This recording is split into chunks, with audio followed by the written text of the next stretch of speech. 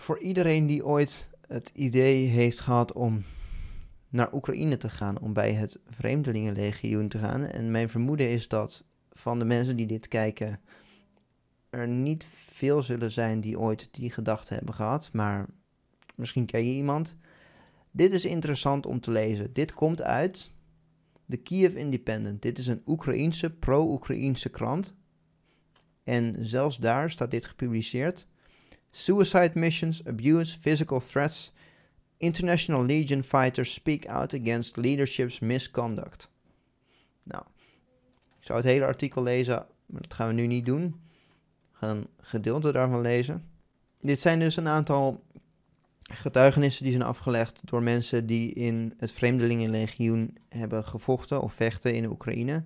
En dit gaat over misdragingen en improfessionele, soms zelfs barbaarse praktijken van de, hun, officieren. Ik zou het helemaal lezen, want er staat meer in dan we hier kunnen gaan bespreken. Maar met name dit vond ik heel sprekend.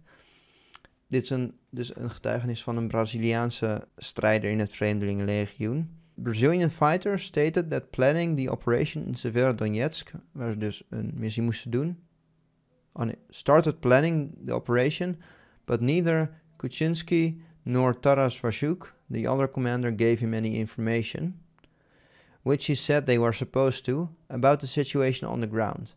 Nou ja, dan wordt het lastig om een operatie te plannen als je niet te horen krijgt wat, wat er aan de hand is. Dus uh, klinkt als kanonnenvoer, maar goed, we lezen verder. Mm-hmm. By then, Severodonetsk was a center of heavy fighting. Ukrainian troops would reti- retreat from the city a couple of weeks later. A lot of questions asked were not answer- answered, like where the friendly troops were, the Brazilian officer said. Only later did he learn that the previous group sent on this very mission came under friendly fire by Ukrainian soldiers. Another Brazilian legionnaire was killed and they had to retreat. We got into the field without knowing what was going on, the officer said. I realized those motherfuckers won't let us plan, he said of Sasha and Taras. They would just bring us into the middle of the place, dump us there to fight, dump us there to die. Upon arrival, a Ukrainian Special Forces serviceman filled them in. He told the Brazilian that Ukrainian troops are inside the buildings along their way, but they have no established communication with them, so they shoot at everyone who breaks through. What the fuck? How are we gonna pass? These Ukrainian guys are gonna shoot at us? The Brazilian said, he asked. Yeah, that's right, we need to hide. Klinkt als een perfect georganiseerde militaire machine. Dit klinkt als ons belastinggeld wat goed aan het werk is. Soon, someone they didn't know got in touch via radio saying a new gro- group was on their way. The soldier arrived but then left in the middle of the night without saying anything. The next day, another squad came in to replace them.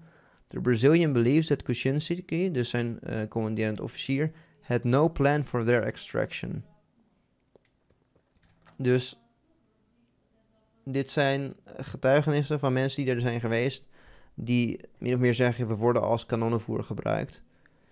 En dan kan je je afvragen, als mensen met militaire training uit het buitenland op die manier worden ingezet, hoe denk je dat de dienstplichtigen in Oekraïne worden ingezet? Met andere woorden, als dit is hoe ze omgaan met hun manschappen die eerder een militaire ervaring hebben en militaire training, hoe denk je dan dat ze omgaan met hun manschappen die geen militaire ervaring of training hebben, dus de dienstplichtigen? Die mensen zijn dus veel minder strategisch inzetbaar en in het leger betekent minder strategisch inzetbaar nog meer als kanonnenvoer. Uh, op een vergelijkbare manier waarschijnlijk. Minstens. En uh, verder in het artikel staan ook nog dingen over intimidatie, geweldspleging binnen die eenheid. Uh, dat ze bevelen krijgen om een winkelcentrum leeg te roven. Een Oekraïns winkelcentrum. Dus ik zou het vooral helemaal lezen. Maar dit staat dus in een pro-Oekraïnse krant over wat er daar gaande is. Zeg maar, dit soort verhalen is wat we altijd moeten geloven wat er aan de hand is aan de Russische kant. En getuigenissen vanuit mensen die daar hebben gevochten, die zeggen nu dat het tegenovergestelde aan de hand is. dat zij niet georganiseerd zijn. Dit zijn geen mensen die te veel televisie hebben gekeken, die dachten, ja, ik ga naar Oekraïne om te vechten. Dit zijn mensen die militaire ervaring hebben in het leger. Er zijn ook mensen die in Irak hebben gevochten, die daarheen zijn gegaan. En dan Hmm. hebben we gezegd van, ik heb nog nooit zoiets meegemaakt. Dit is, dit is totaal niet te vergelijken met de Irak-oorlog. Oh, zou je denken, dus van, vanuit een vliegtuig vanaf veilige positie herders doodmaken in de woestijn is niet hetzelfde als vechten tegen een professioneel leger. Nu weten deze, ehm, ik bedoel, Amerikaanse arrogantie bestaat. Nu weten deze arrogante Amerikanen een keer hoe het is om niet, om, het wel, wel om bij de shooting range te staan, maar niet aan de kant van degene die aan het schieten is. Mhm. Om een keer te vechten tegen iemand die vergelijkbare technologie heeft en niet die volledig inferieure technologie heeft. Zoals alle oorlogen die de VS heeft gevoerd. Ja, Na de Tweede Wereldoorlog. Nou, oké. Korea-oorlog. Na het geval was.